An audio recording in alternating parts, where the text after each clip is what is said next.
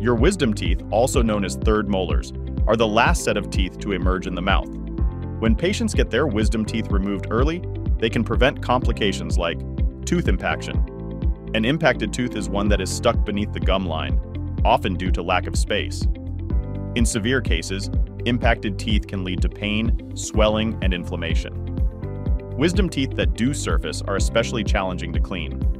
With early removal, patients can prevent tooth decay, gum disease, or infection on the neighboring teeth and structures. Ultimately, removing wisdom teeth contributes to better oral health and overall well-being. If you or someone you know needs help evaluating the health of their smile, give us a call today